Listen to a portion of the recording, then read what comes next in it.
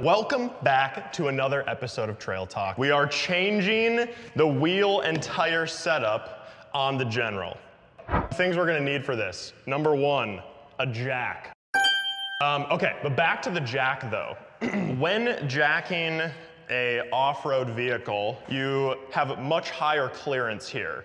So you know there's like the, what is it, like Harbor Freight, Yeah, uh, you know, like the low profile. the low profile one Jacks, that yeah. also the wheel stopped working at some point. Yep. Um, you can't like literally lift those high enough.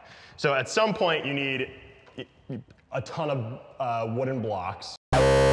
Um, so really you should be getting an off-road jack. The precision of this release is so nice. the other thing about this jack is whatever the leverage ratio looks to be awesome. Like, It's- like one yes. full pump equals a lot of lift. Right? That is an My jack doesn't lift like that.